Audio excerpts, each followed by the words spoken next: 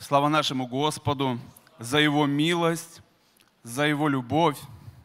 И знаете, слава Господу, хорошо, мы э, живем в такой аграрной стране, и каждый из нас в той или иной мере, ну, сталкивается с земледелием. И когда мы что-то садим, прежде чем посадить, мы сначала тратим силы, чтобы это все вспахать, вскопать, потом берем грабли, разравниваем, чтобы умягчить землю, чтобы нам спокойно было эти садить семена и понимая, что э, чтобы они не взошли с, с, с такой рыхленной почвы. И знаете, слава нашему Господу за Дух Святой, который вот подготавливает наши сердца, прежде чем мы слышим Божье Слово. Через песнопение, через хоровое пение, пусть Господь благословит. Это очень важно. Может быть, кто-то скажет, самое важное служение в церкви это, это проповедовать Слово. И будет прав. А кто-то скажет, самое важное это молитвенное служение, и тоже будет прав. А кто-то скажет, что песнопение, и тоже будет прав.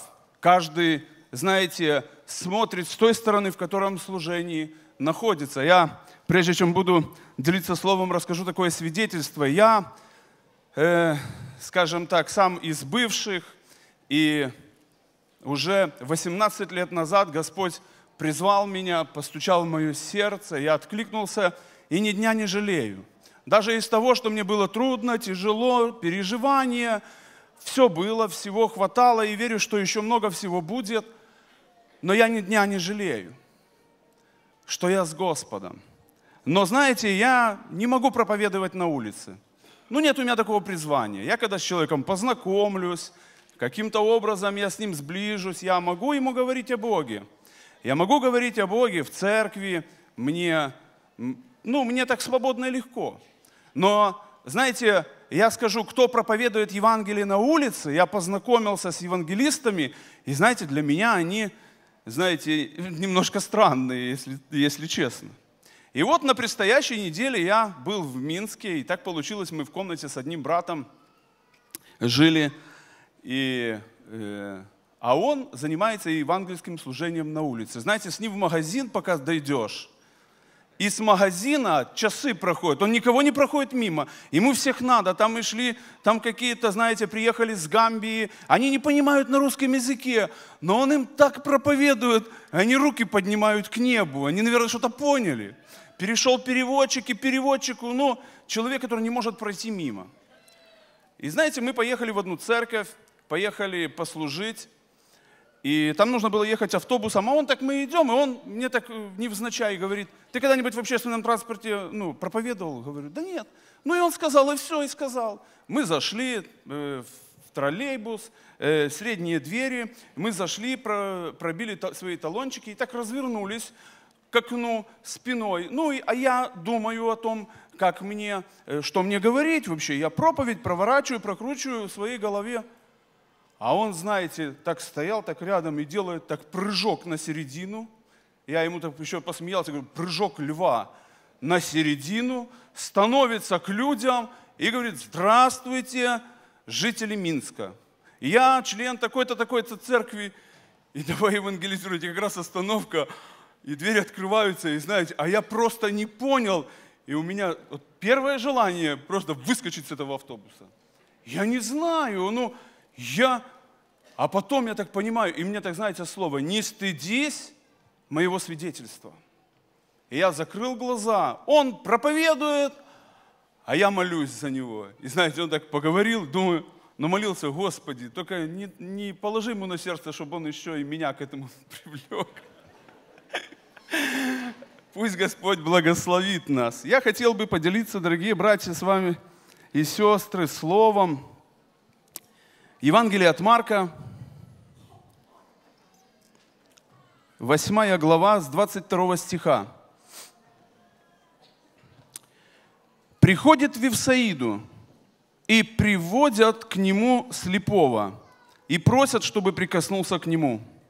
Он, взяв слепого за руку, вывел его вон из селения, и, плюнув ему на глаза, возложил на него руки и спросил его, видит ли что.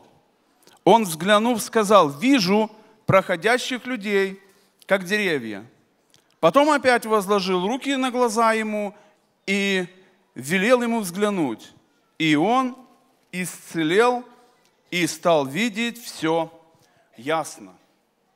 Слава нашему Господу за то, что Господь, Он открывает людям глаза.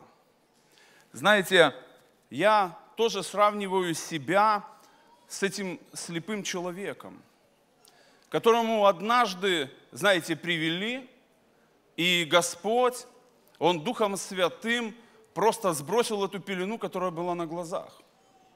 Знаете, я понимал о том, что я делаю плохо.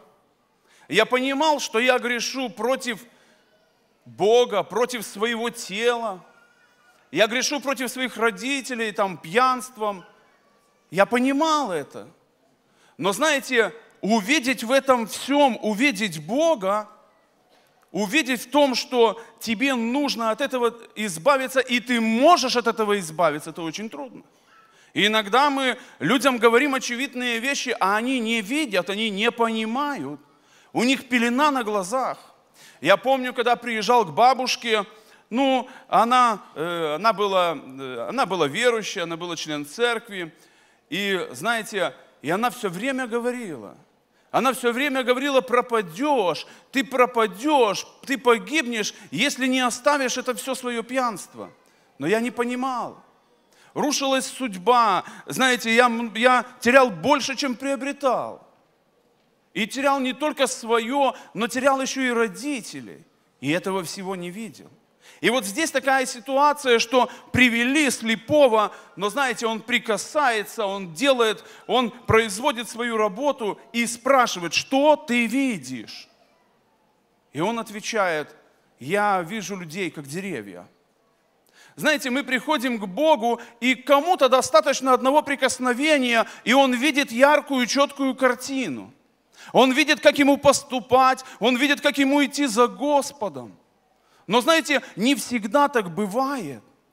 Не всегда так бывает. Иногда я, у меня плохое зрение, и один мой знакомый, у него тоже зрение было плохое, но так как ему предложили работу э, в пожарной службе, то ему сказали, что тебе нужно что-то сделать с глазами, со зрением, и тогда мы тебя возьмем. Ну, и они собрали все деньги, которые они были, и заплатили, и ему поправили зрение. Но знаете, прошли годы, прошло там сколько там, я уже, ну, может, лет 10 прошло, он очень сильно любит читать книги. Он везде с книгой, мне даже неудобно. Знаете, ну вот, поехали с человеком на рыбалку, да, он в книге. Пошли с человеком в баню, он в книге. Пошли, поехали за грибы, и он и там нашел время почитать. Ну, он читает, читает, читает. И я говорю, слушай, а ты делал операцию, как твое зрение? А он говорит, село. Зрение село. Вот так бывает и у нас. Кажется, Господь, Он снимает пелену с глаз, но потом проходит какое-то время, и знаете, и мы опять становимся, мы плохо видим. У нас какая-то христиан, э, христианская, ну, скажем так, близорукость. Мы, мы то, что уже там рядом, да, можем увидеть. А то, что чуть подальше, мы уже и не видим. Мы можем смотреть через призму каких-то переживаний своих, каких-то своих нужд, каких-то своих потребностей. Но мы уже забываем о том, что вообще-то Господь нам что-то показывал. Когда мы читаем э, Деяния апостолов, и когда Господь остановил на дороге Савла, знаете, от этой славы его он ослеп. И вот он лежал, и когда Бог проговорил другому мужу Божьему, сказал, пойди к этому человеку. И там, знаете, такие слова. Говорит, я покажу ему, сколько ему нужно будет за меня пострадать. Иногда мы приходим к Богу, и мы вообще не понимаем, да, мы доверяем Богу. Бог со своей стороны, Он налаживает наши отношения, налаживает даже отношения с близкими, родными – налаживает мужа с женой. Если, к примеру, муж пил, и жена никак не воспринимала, то уже после этого она понимает, она начинает его уважать. Но проходит какое-то время, и приходят в жизнь христианина какие-то переживания.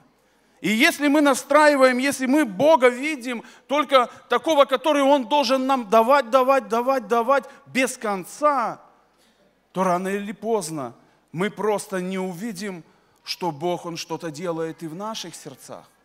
Иногда бывает, сталкиваешься с человеком, и человек просит, помогите разрешить какую-то проблему.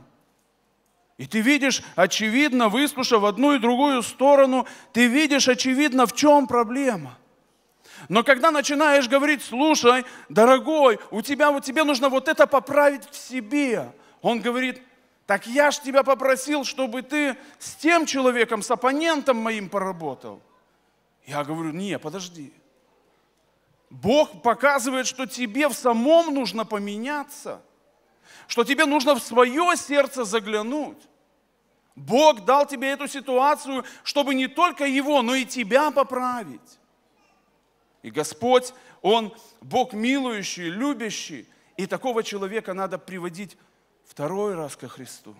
Такого человека надо вновь вести ко Христу, чтобы Господь вновь приложил свою руку – чтобы он увидел, в каком положении он сам находится. Знаете, иногда человек настолько вот смотрит, смотрит какие-то, э, что в жизни и то не получается, и то, и то, и то, и то не получается. И когда встречаешься, ну и спрашиваешь, конечно же, ну как жизнь, как дела? И не всегда ты слышишь слава Богу. Не всегда слышишь слава Богу, потому что человек свои глаза питает негативным каким-то опытом и в своей жизни, и каким-то негативным опытом в, в жизни других. Он не видит свидетельства Божьей славы, Божьей силы, забывает о том, что Бог вообще делал в его жизни. Он питает свои глаза, он смотрит – что-то такое размывчатое, что-то такое расплывчатое, и только видит, что и это плохо, и то плохо. И Давид в одном из своих псалмов, он говорит такие слова, 30-й псалом, 10 стих. «Помилуй меня, Господи, ибо тесно мне, и сохла от горести око мое, душа моя и утроба моя». Когда человек, он видит только плохое, когда он видит только отрицательное, рано, он не будет радоваться, он не будет ликовать. Когда человек фокусируется только на какие-то проблемы свои, он не будет ликовать. Для него будет все плохо.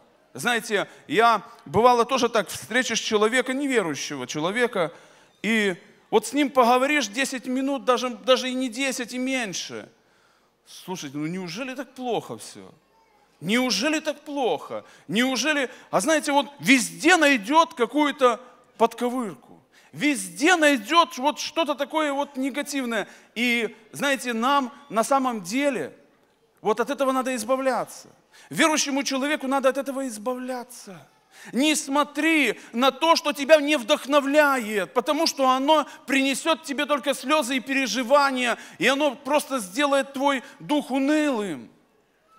А Бог нас призывает не для того, чтобы мы унывали, а для того, чтобы радовались. Несмотря на все переживания, апостол Петр, по-моему, говорит, поскорбев немного, немножко поскорбев. Немножко поскорбев, да, надо. Но это только немножко – а дальше идти за Христом. Дальше на самом деле видеть вот такие моменты. Знаете, для меня очень хороший момент, и, для меня э, такой пример, когда я перечитывал вновь и вновь эти главы, когда служил Илья, когда проводил служение этот пророк Илья. Знаете, помолился Илья, и не было дождя. И как не было дождя, много бед пришло на, на людей. Голод был сильный, написано. Много было переживаний. И знаете, люди мирские, они искали, в чем причина. И как всегда, когда христианство, оно начало распространяться, то, знаете, тоже искали, что причина, сгорел Рим, кто виноват? Христиане. Эти сектанты, они виноваты. Нету дождя, все, виноваты. И Изавель посылала людей, которые уничтожали Божьих людей, Божьих пророков, уничтожали. Но Илья, получив от Бога удостоверение, иди покажись Ахаву, иди покажись царю. Хватит тебе, знаете, хватит тебе прятаться, иди ему покажись. И даже человек, который там встретился ему на пути, хороший человек о нем написано. И говорит Илья, говорит, пойди скажи, что я здесь. Он говорит, слушай, ну зачем? Я сейчас пойду скажу, что ты здесь, а тебя Бог, Он заберет отсюда. Они придут, чтобы тебя убить, и тебя не будет. И я останусь крайне. Не, пойди скажи. Мне надо показать народу Божьему Бога. Мне надо показать волю Божью. И знаете, когда он все это сотворил, он восстановил жертвенник, прежде чем показать. Он жертвенник восстановил. Он восстановил отношения с Богом. Жертвенник – это мое и твое отношение с Богом. Это комнаты наши дома. Это твое хождение на служение, на собрание. Это чтение Библии. Жертвенник. И когда он восстановил жертвенник, он явил Божью славу. Он не показал, насколько он там искусный пророк, насколько он может там делать чудеса. Он показал Божью славу. Он сделал то, что невозможно было. Невозможно было мокрые дрова зажечь. Бог просто пришел и все это пожрал. Вот это, этот огонь, он спустился и пожрал все, жертву, все, все он это Казалось бы, ну как, они не загорятся. Может быть, надо их подсушить. Может, эти дрова, наоборот, надо где-то в сухом месте, чтобы они полежали. Знаете, сейчас продают такие котлы, твердотопливные, для которых нужна определенная влажность дров. Один человек купил такой котел и говорит, и он поработал у него месяц, и все, и не работает. И он его приходит в магазин и говорит, что, слушайте, вы продали мне бракованный котел. А он туда пихал сырые дрова, они текли, залили там какой-то этот мотор, и мотор сгорел. Но у Бога не так. Для Бога нет никаких препятствий для того, чтобы явить Божью славу. Для Него нет никаких препятствий. И дрова будут мокрые, и лед будет лежать. И Он повелит, и этого не станет, все сгорит. Все зажжется. Знаете, мы иногда так смотрим, этот человек точно никогда не покается. Но этот человек уже пять раз, шесть раз приходил, каялся и все равно уходил. И мы можем, знаете, разочароваться, наш глаз скажет, все, уже кто-кто, но этот точно нет. И зачастую Бог, наоборот, поднимает такого человека и делает мало того, что даже делает своим служителем. Братья и сестры, нам на самом деле, вот настраивая отношения с Богом, чтобы Господь дал нам смотреть Его глазами. Его глазами. Илья смотрел глазами Бога. Он делал то, что Бог ему повелевал. Может быть, оно не сообразуется со здравым э, смыслом, но он делал это. Но после этого всего он посылает слугу, говорит, иди посмотри. И бежит тот слуга. Бежит слуга и смотрит, ничего нету. И он приходит на Илью и говорит, ничего нету. Я ходил, смотрел, ничего не видно. Делай это семь раз. До семи раз бегай и смотри. И знаете, он побежал и увидел маленькое облачко – прибежал и говорит, маленькое облачко, маленькое. Все, иди скажи Ахаву, что уже слышен шум дождя. Уже слышен шум дождя. Братья и сестры, меня вот это очень сильно вдохновляет. Когда мы смотрим на маленькое свидетельство, когда мы слышим, что где-то Дух Святой зажигает маленькие группки, когда мы слышим, где люди приходят каются. Я позвонил одному брату и говорю, э, ты едешь на, едешь на сессию учиться? Он говорит, не могу, потому что несет служение. И говорит, молодые люди из цыганского народа приходят сами, приходят и каются, и сокрушаются. И говорит, не хочу оставлять это служение. Не хочу оставлять. Я говорю, пусть тебя Господь благословит, пользуйся моментом. Пользуйся моментом.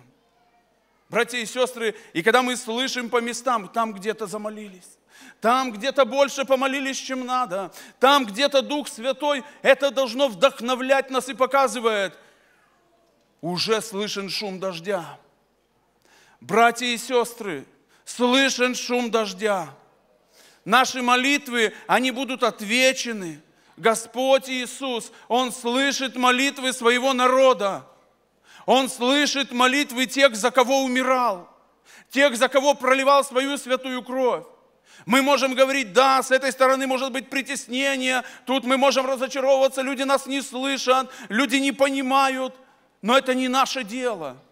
Наше дело смотреть, как смотрел Илья, увидел маленькое облачко. Пойми, уже слышится шум дождя. Чтобы наш этот кругозор, он расширился. Порой Господь, знаете, и допускает какие-то горести, страдания и переживания для того, чтобы мы увидели, для того, чтобы картинка наша была ясная. Я не буду читать, но скажу так вкратце. Был момент, когда царь Ассирийский, он восстал на Божий народ, и ему пришли сказали, слушай, ты не сможешь одержать победу, потому что там есть один пророк, который ты только в тайной комнате скажешь, а он уже все знает. И это будет проблема. Ты не одержишь победу. И знаете, и он послал войско не на Божий народ, а послал на этого пророка, чтобы уничтожить этого пророка. Но Елисей, он, знаете, доверялся Богу. Он был ученик Илии. Он доверялся Господу. И он знал, а этот слуга он не видел. И он помолился, Господи, открой ему глаза, чтобы он увидел то, что вижу я. Чтобы он увидел, что за нами стоит больше тех, кто против нас. За нами стоит Бог. За нами стоит царь царей, мы сегодня слышали. Господь господствующих. За нами стоит Творец всего видимого и невидимого. И все воинство небесное, все его силы, все стоит за Божьим народом. Да, мы сегодня слышали, э, брат-пастор, он так говорил об этой семье. Я когда слышал это свидетельство первый раз, я, меня слезы с глаз. Забрали, забрали мужа, там, если мне память не изменять, было 9 детей – забрали мужа и говорят, ну вот посмотри, что у тебя за Бог? Забирают твоего кормильца, как ты будешь их кормить, этих деток? Его забрали. А эта жена продолжила дело мужа своего. Она не просто, знаете, так осталась и просто смотрела детей, она несла Евангелие. И забрали ее. А этих деток всех разбросали. Ни мама, ни папа больше не вернулись. Ни мамы, ни папы больше не было. Осталась только вера в этих детях. И их сознательно, сознательно развезли по разных детдомах. Но все эти дети, когда я услышал, что эти все дети, они в конце концов верующие, для меня это было, знаете, такое вдохновение. Они смогли донести этим, кажется, маленьким деткам, там не все были взрослые, там были маленькие детки. Как они пронесли? Кажется, мы то, что в детстве получаем, мы забудем потом. Нет. Если Господь в сердце посеял это маленькое семечко, оно останется, вся шелуха будет отпадать, а семечко будет расти. Братья и сестры, заканчивая, я хотел бы, так знаете, ободрить нас – чтобы мы, если мы не видим Божьих дел в нашей жизни, если замыливается наш глаз, если, может быть, знаете, наши отношения, они теряются, то нам надо вновь и вновь идти к Иисусу Христу. Вновь и вновь идти к Иисусу Христу и говорить, Господь, я уже не вижу Твою руку. Иисус, я уже не вижу Твоих дел в моей жизни. Иисус, слезы истомили мое сердце. Иисус, я хочу, чтобы Ты вновь приложил свою пронзенную руку к моим глазам, чтобы Ты приложил свою пронзенную руку к моему сердцу, чтобы я вновь вдохновился, чтобы я полетел за Тобою, чтобы я бы вновь мог свидетельствовать о славе великого и могучего Бога. Аминь. Помолимся. Давайте помолимся, встанем.